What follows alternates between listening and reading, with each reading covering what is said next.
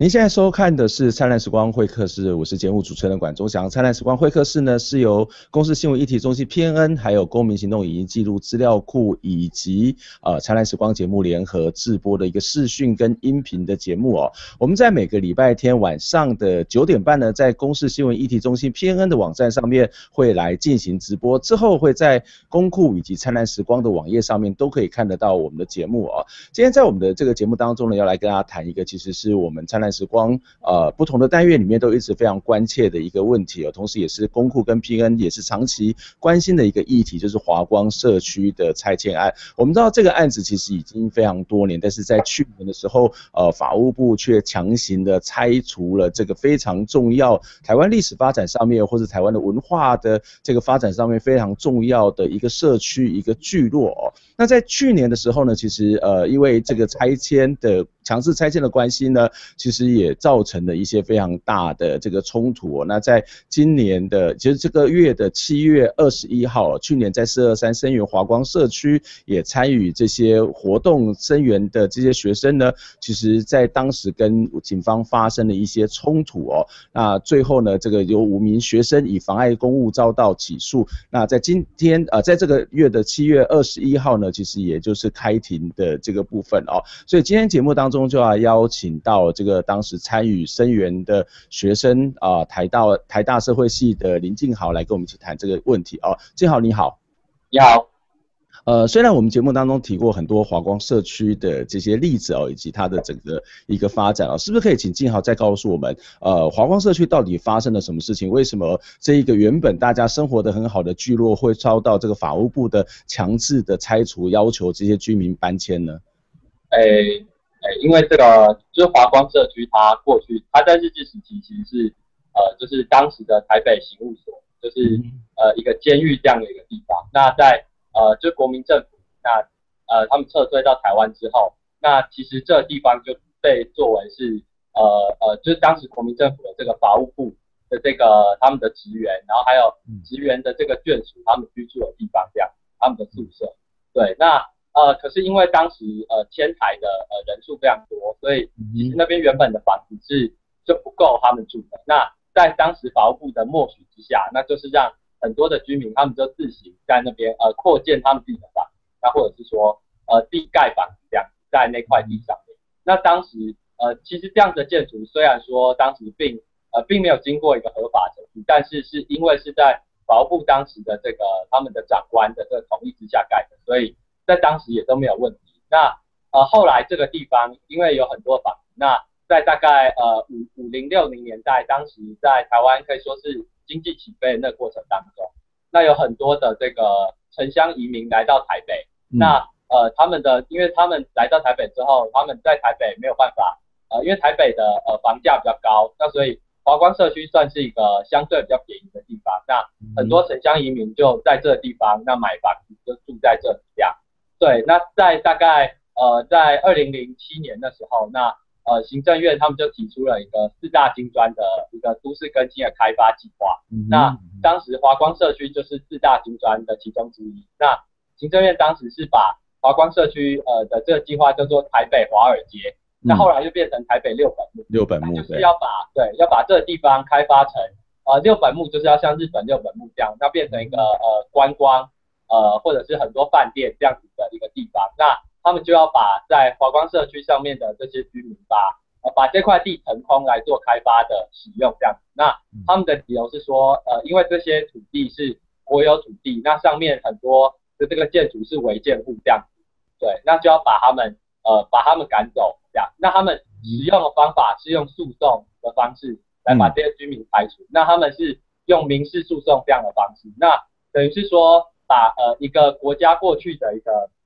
就是历史留下来的一个历史脉络的的这样子一个聚落，那非常粗暴的直接用一种民事的方式来排除，那等于是说用司法的方式来处理这个呃，应该是说一个历史的问题，一个公共的问题这样。那他们用的这个民事诉讼的方式，其实不只是说要呃要把那个居民，就是把他们呃把他们的要要他们拆屋还地，那甚至是说还要。他们来付这个不当得利，那很多居民呃，因为那个那块华光社区其实是在中正纪念堂附近，所以它的地价其实比较高，那所以很多居民他们被告不当得利，大概平均有几百万，甚至到将近一千万。那其实住在上面的居民是没有办法，多数的人是没办法负担这样子的一个状况，所以就在国家这样威的这样子的威胁之下，那很多人只能就是被迫选择跟国家和解。那如果不愿意和解的居民，那其实他们通通都是败诉的，那所以他们就面临说要被法院强制执行他们的家，要拆屋还地，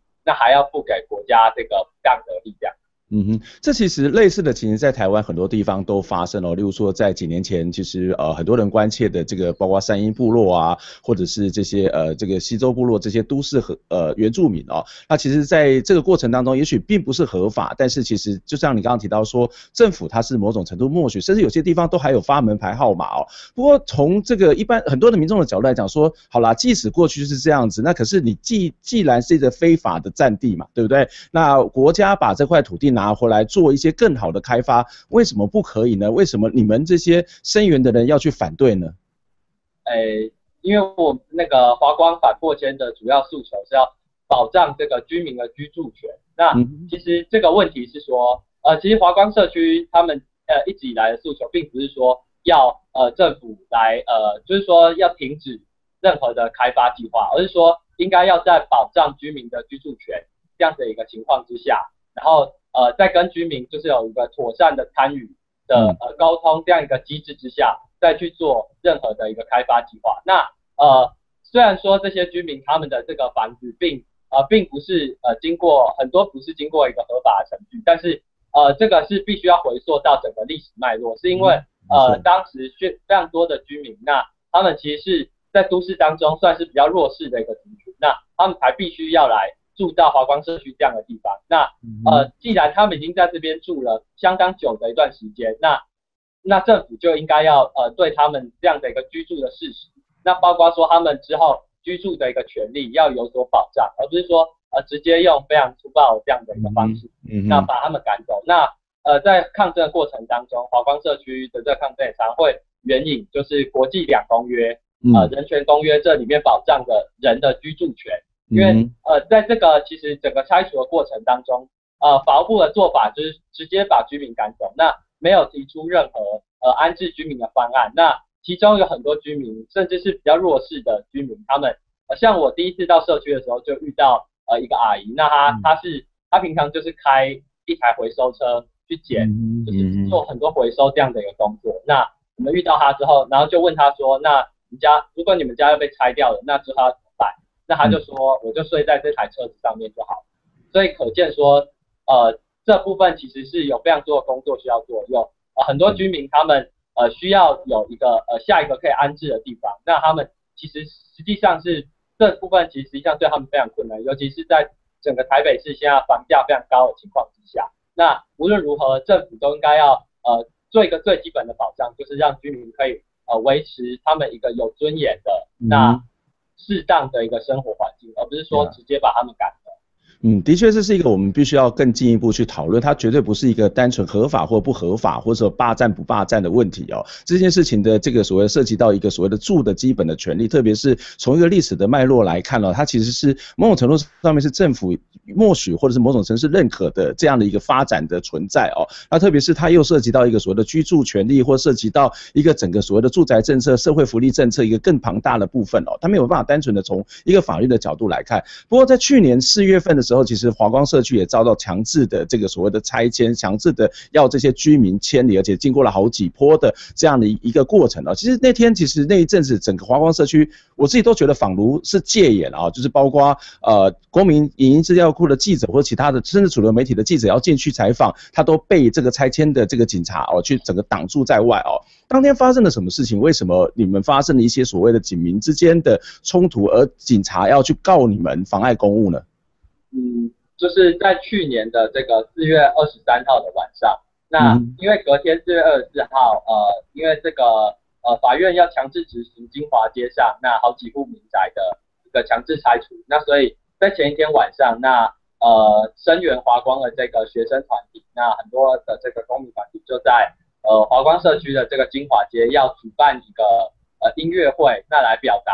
呃就是反破迁这样的一个诉求一个理念这样子。嗯，对。那但是在前一天晚上的时候，那呃在下午大概五点多的时候，那警察就是先把呃就是隔一天隔一天早上十点才要执行的这个金华街的路段，他用呃就是用围篱把它整个封起来，那进行的管制这样子，那就禁止任何除了呃居住在里面的居民以外的人进去这样子。那所以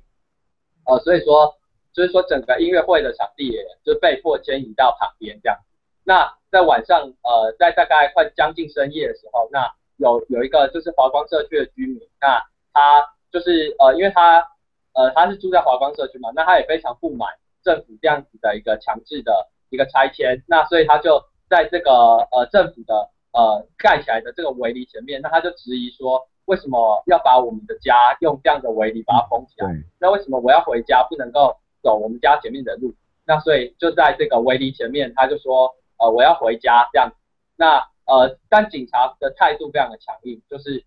呃，就是制止这个居民这样。那所以就引起就是大家呃，就是当场声援的人，那呃非常多支持的朋友的呃对政府的一个不满，所以大家就在呃警察围篱这个前面，然后来做一个诉求，就是说呃反破迁，然后呃要让华光居民回家这样。那在这个过程当中，那警察要也要阻止呃呃人民的抗议这样的一个动作，那所以就呃产生了一个冲突这样。嗯，那其实这个冲突呃在这个礼啊礼拜一的时候，也就是在七月二十一号的时候，其实在台北地方法院这个开庭嘛，因为检察官要以妨碍公务来起诉你们，那个开庭的结果跟状况是什么呢？呃呃，当时是呃就是他们以妨碍公务来起诉我们，那。呃，当天的状况其实是因为是法院第一次的一个审查庭而已，所以呃，结果的部分是还呃目前还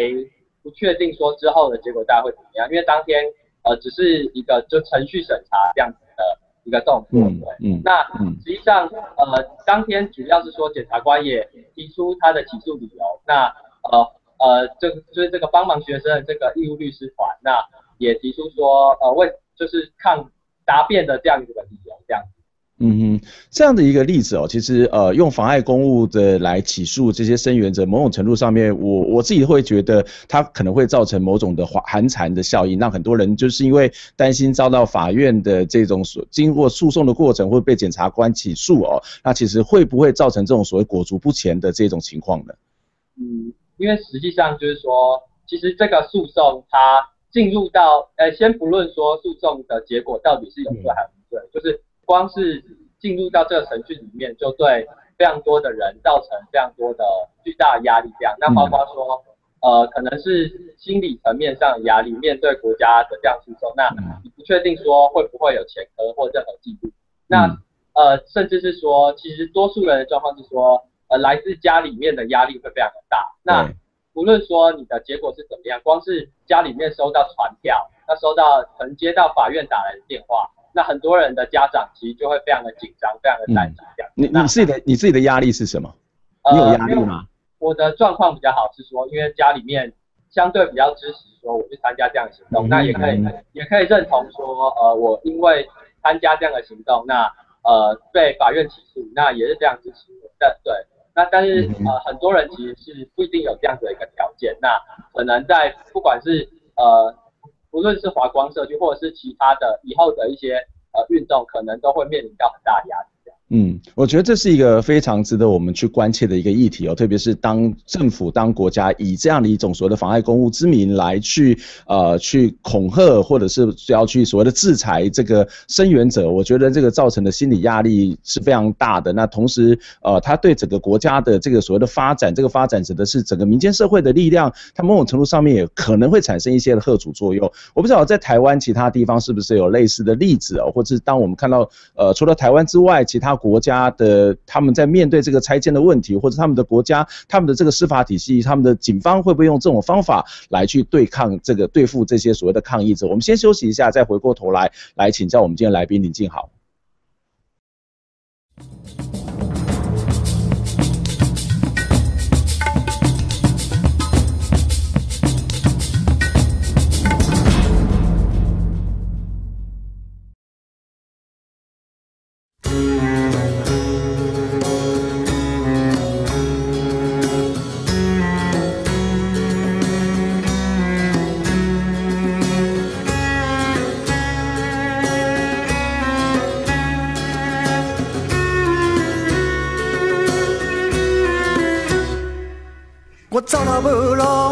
去倒位，人活伫一个通树铁壁的城市。我走啊走啊走啊走，到用要喘气，也看无咱的未来到底是伫倒位。都市计划经济爱发展，你甲规矩甲恁爸讲你要去插地皮，老啊厝一栋栋我拢买袂起，但是你煞去伫阮阿公所留来的土地。啊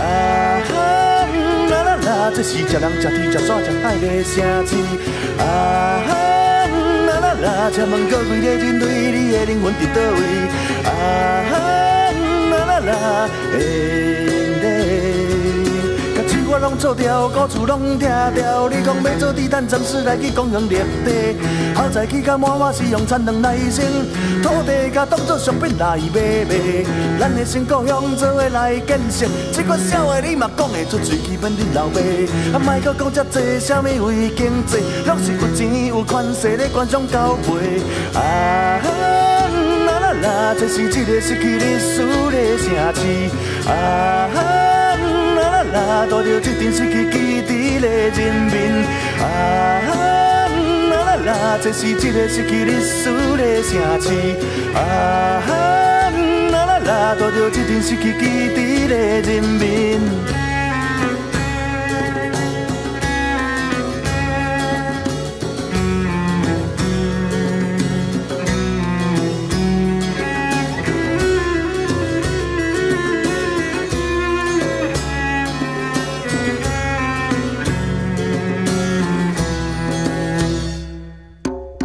民。无路，不知要去倒位，人活伫一个通树铁壁的城市。我走啊走啊走啊走，到用要喘气，也看无咱的未来到底是伫倒位。都市计划经济爱发展，你甲规矩甲恁爸讲你要去插地皮，老啊厝一栋栋我拢买袂起，但是你煞去伫阮阿公所留来的土地。啊啦啦啦，这是一个失去历史的城市。啊啦，带着这阵失去基地的人民，啊啦啦啦，这是一个失去历史的城市，啊啦啦啦嘞。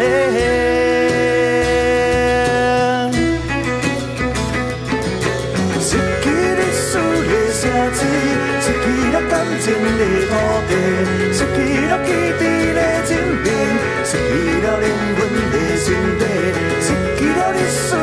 城市失去了感情的土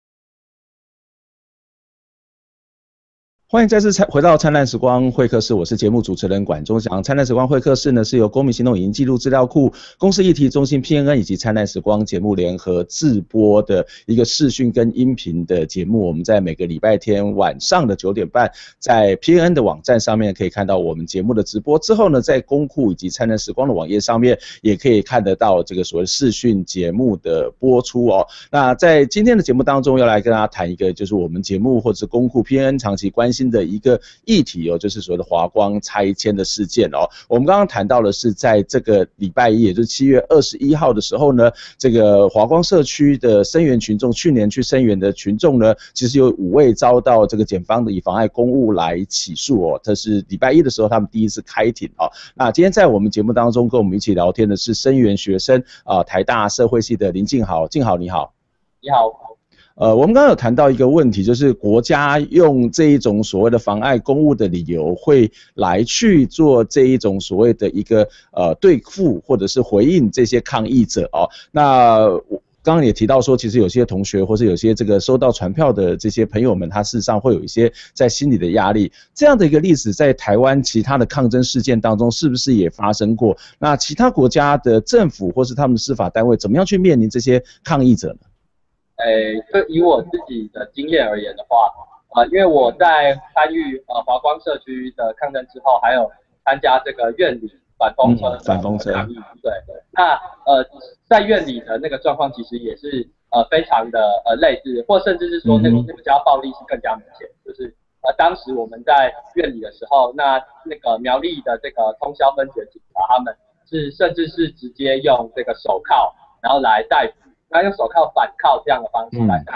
在现场呃要抗议这个不当风车工程的这些学生和当地的居民这样。那在这之后，同样也是用呃就是移送地检署，那之后用司法起诉这样的一个方式来对待这些学生。对，那因为呃我自己也是当时也是算其中的一个当事人之一这样。那也呃等于说呃在这样的状况其实不只是发生在华光社区，对，那在院里或者是。呃，像近期的，比如说这个呃立法院的这个占领的太阳花这个运动，那或者是说像前阵子这个热身的这个呃运动，在在台北市政府前面也是有非常多的学生被警察逮捕，那之后可能也会面临司法的起诉这样。对，那这等于是说国家就是告诉你说，呃，你如果到很多地方去，不管到什么地方去参加这些抗议，那他都用这样的方方法来对付你，那到最后可能你。的这个就会有非常多的诉讼，那有非常多的时间必须要花在法院来呃处理这些诉讼，这样，那这呃或者是甚至说，因为在这个过程当中要付出非常大的成本，那呃不管是心理的成本也好，那时间的成本，那甚至是比如说你到外县市去抗议，那比如说我们在苗栗抗议，那就变成是说你就要很长到苗栗去来开庭，或者是呃接受检察官的讯问，这样这些都是有非常大的成本，这样。那其实就我所知，在这个呃国外的例子是，呃比如说我们在呃针对院里反风车，而当时警察是以强制罪来起诉我们这些声援的呃呃声援者，对，那针对这部分，那有很多学者也有做一些呃国外案例的比较，那比如说在德国，那在德国因为每年就是德国这个反核运动，他们每年都会要呃反对说这个从呃，就是从法国要来运运走这个核废料，那它铁路会经过德国，那其实非常多的大学生他们就会号召到这个铁铁路上面来，就也等于说是卧轨，然后来阻挡这个核废料运送。对，那其实，在后来在呃现在的状况是说，在经过他们法院的一个呃判决之后，其实这些学生他们就算把自己用铁链绑在这个铁轨上面，都不构成。刑法的强制罪，那甚至是说，在很多的呃其他的一些国家，他们可能呃在法律上面就已经保障人民的，包括示威的一个权利，或者是执执执行一个不服从、公民不服从的一个呃反抗权这样的一个权利。那在他们在从事这些运动的时候，都不会构成呃法律上面的这样的一个问题。那等于说是从呃制度上面来保障说。人民有机会对就是这些不当的政策来采取一些手段来反对。那在台湾的状况反反过来变是说，国家可以用这样的法律，然后等于说再再进一步的来打压这样的抗议。那在华光社区，这个又显得特别讽刺，是说国家已经先用呃公法遁入司法，用民法这样子一个方式来对付这个呃抗争的呃来对付这些华光社区的居民。那在在这个社会抗争过程当中，那他们却又用呃呃，法务部又用这个警察，那等于说国家又动用他们公家的资源来处理，理论上他们已经把它呃变成一个私人之间的事情。那所以在整个过程当中，就是呃整个整个公权力的运作变得非常的模糊。那好像是说呃整个包括司法体系，包括整个警察体系、检察体系都。让任这些当权者来任意的使用，那对人民的权利其实是非常的没有保障的。嗯，这是一个我们非常重要重要的一个一个一个切点，一个面向。其实我们也常常在谈说，一个一个国家或一个社会的进步，通常不会是来自于执政者的恩泽，那他也未必会来自于反对党的监督，特别是反对党跟执政党越来越像的时候，他是不可能去监督的啊。但一个国家一个社会能不能进步，常常会跟这个社国家的社会运动到底发不发达是有很大的关系啊。这个政府官员他其实不应该去打压社会运动者，而是要学习跟社会运动的团体或者社会运动的这些参与者进行对话啊。我觉得这才是一个社会能不能进步非常重要的。一个关键啊，当然我们再回到呃华光这个议题的本身来看啊，其实刚呃金豪一开始就提到说，它其实是有一个非常长的这个发展历史，从日治时代一直到国民政府时代，其实都有不同的社区进入到这个群体里面哦，到了这不同群体进入到这个社区里面哦，可以请金豪再跟我们多谈一下华光的整个历史的发展。我们知道在最近这一阵子，其实包括一些护树团体，包括一些文史团体也进入到华光来去做一些抢救古迹或者是一个所谓的社区导览的工作嘛。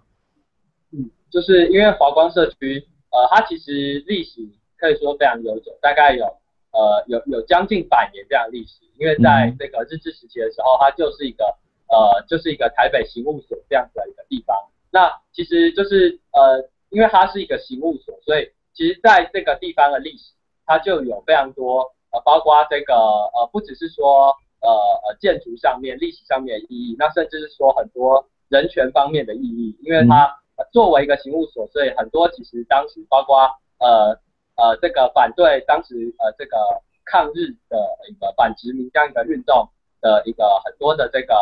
呃当时参加运动的人可能被抓到这个刑务所里面来，那甚至在里面处决。那呃比如说一些比较有名的，像呃当时的这个抗日的这个罗福星，那或者是一些作家等等，那都曾经被抓到这里面来呃那。甚至是说，在这个呃当时的这个台北刑务所，它其实它的建筑是用在这个清朝的这个时代的这个台北的古城墙的石头来做成的。对，那所以其实在这个地方可以说融合了，包括从清代到日治时代的历史，那一直到呃整个台湾在整个现代化过程当中，那这个聚落形成，其实也就反映了整个台湾现代化过程当中比较呃不为呃一般社会大众所知的一面。那呃，很多的呃城乡移民，他们住在这地方，那发展出他们自己的一个社区的一个这样子的一个网络，那这样的一个生活方式，那其实我我也觉得说这样子的东西不应该在呃在我们现代化的整个过程当中，那就很轻易的被淘汰掉。那为了整个呃可能是国家少数的呃某些财团资本家他们开发的需要，那就把这些历史的记忆，那把这些人。这些社区网络从这个地方找出，那这样子的呃这样子的一个发展，我认为是非常适当的，因为呃整个都市的发展本来就应该要呃建立在于说呃我们对于过去的了解，那在站在过去之上，我们才能够看到未来。那如果只是一味的追求说呃都是要做这种大规模的开发，那都是要以呃盖大型的饭店啊、大型的购物中心来做这样一个发展，那其实实际上是没有办法呃对于。很多的都市居民，那或者是说台湾的各地的居民，其实是没有没有任何的帮助的，因为这些地方显然不是呃这些都市居民有办法来，或者是有办法常来使用的一个这样子的地方。那但是呃如果发展成这样的话，那便是说只是把都市的土地作为商品拿来卖给很多的财团，那那他们取得了这个土地之后，其实就会呃再造成说整个发展更加不均衡，那整个的分配更加不均衡，所以。这其实也还牵涉到更大的一个呃发展的一个结构上面的问题。嗯哼，的确有一个一个城市，如果它没有记忆哦，一个城市如果只有这个金钱，我想它不但只是一个只有铜臭味的一个地方，它可能连它的历史都会整个被忽略掉哦。我不晓得你刚刚谈到这么多的一些历史的建筑或是历史的遗迹，在这一次华光社区的拆迁过程当中，特别是他们要去盖的一个叫做台北六本木，以经济发展为主的一个新的这些所谓的商业区，这些这些古迹或是这些历史建筑有受到任何的破坏吗？还是？政府他们会想要去保存它吗，还是他们已经不见了呢？哎，就是目前的状况是说，呃，台北市政府它只有指定这个华光社区，呃，比较南边的地方，呃的呃，包括一些官舍，那呃呃，过去台北刑务所留下来的一个公共浴场，那还有南边的这个过去的古城墙这样子的一个地方作为古迹。那在北边的官舍的部分，那它其实是没有呃做呃没有把它指定成古迹。那它好，呃，目前也是随时都有可能面临被拆除的这这个呃风险这样子。那那呃在其实，在去年八月呃八月底的时候，有一波非常大规模的拆迁。那其实，在那个过程当中，就已经破坏掉很多呃呃在华光社区里面非常重要的一个历史的一个呃留下来的古迹。那包括说华光社区的一个口字形的单身宿舍。那这个这样子的一个建筑，这样的一个日式的一个建筑风格的一个单身宿舍，其实在台湾呃是非常的少见。那华光社区当时留下来的这个宿舍可以说是呃仅存的非常还呃规模可以算是非常大的，那也呃可以保留比较多生活纹理的一个地方，但是目前已经都遭到呃保护的拆除。那呃北边的这些呃包括官舍、包括围墙也都面临拆除的危险这样子。对，那其实甚至是说，在整个后来台北六本木的这个呃开发的计划当中，那虽然说里面有提到说要呃针对就是华光社区里面留遗留下来的古迹来做一个保存，那或者是说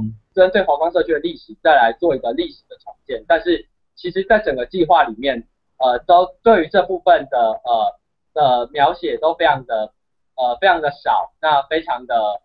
不实际这样子，那甚至是说他们连原本的这些呃呃古迹的这些宿舍的位置在哪里，他们都没有办法明确标示出来。嗯，那其实呃华光社区在目前的整个呃关于文史的整个呃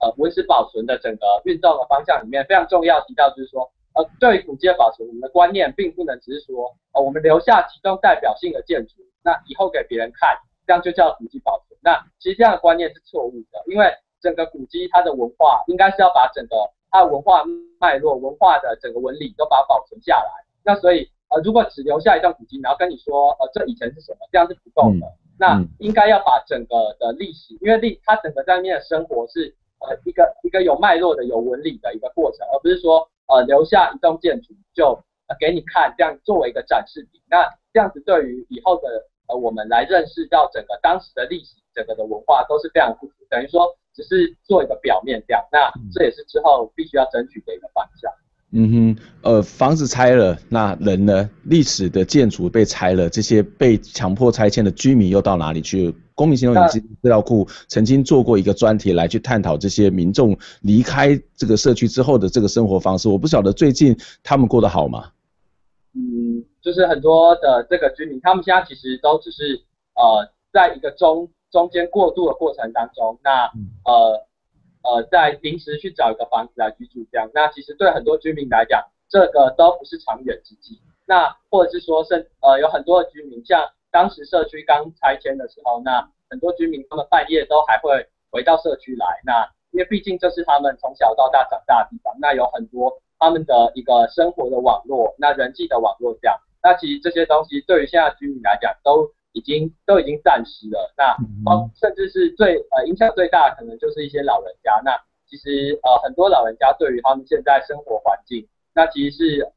很难够很难去习惯的，毕竟是离开他们生活一辈子的地方，那呃老人家又对于适应新的环境上面，呃可能需要花费更多的时间这样子，那呃但是目前最严重的问题还是说很多居民没有办法找到一个他们得以长期安身立命的地方这样。嗯哼，我想最后一个问题请教，因为时间快到了，就是那你们现在要的是什么？就是房子拆了，人其实也被迫搬离了。那现在还有很多人持续的声援华光社区的，不管是这些老人家们，或者是这个土地或者这个历史的古迹，你们要的是什么？你们觉得还要去争取什么吗？那华光社区，我想现在最主要有大概几个方向诉求。那第一个就是说，在不当得利的部分，因为就算房子都拆了，居民还是。背负着很大的不当得利，那这个部分也是历史上面问题。那政府不应该用这样的方法来逼迫居民。那这个部分是首先我们认为说应该要呃以一个专案去处理的，政府应该来解决这件事情。那第二个就是说呃房子拆了，但居民现在还没有一个可以长久安身立命的地方。那所以再来整个的安置方案是非常的重要，政府必须要提出一个适当的安置方案来安置这些被迫离开家园的居民。那第三个是说，在整个呃，因为像刚刚有提到说，像华光社区这样的例子，不止在华光社区，在全台湾很多其他地方都还有。那所以针对这个国有土地上面的一个违建户的一个历史问题，那国家应该要提出一个修法，那未来不再用这种强迫用破迁，那用诉讼的方式来告这些居民，应该要有一套完整的呃制度来解决这个问题。这样，那最后一个就是说，在整个华光社区未来的开发当中，那应该要呃应该要纳入更多公民参与的机会。那包括说怎么来保存这些华光社区的文化资产？那未来的发展怎么让呃华光社区现在被清空这些土地，在未来能够呃能够符合台北呃住在台北市的这些市民，或甚至是说全台湾其他的这些呃人民的需求，应该要以这样子的方式来作为一个发展方向。那所以整个过程当中必须要纳入更多民间的意见，这样。嗯哼，房子被拆了，人被赶走，可是很多的问题一样是留下来，很多问题一样是没有解决哦。那这需要我们很多的民众共共同来去关切，甚至要去采取行动哦。那今天非常谢谢呃林静豪同学来接受我们的访问，希望下次有机会能够跟静豪有聊更多有关华湾社区或者更多有关拆迁的这样一些议题。谢谢静豪，谢谢，我们下礼拜空中再会，拜拜。这款笑话你嘛讲会出嘴，基本恁老爸，啊莫搁讲遮济，啥物为经济，拢是有钱有权势咧官商交配。啊啦啦啦，这是一个失去历史的城市。啊啦啦啦，带着一阵失去基地的人民。啊啦啦啦，这是一个失去历史的城市。啊。啦，带着一阵失去基地的人民。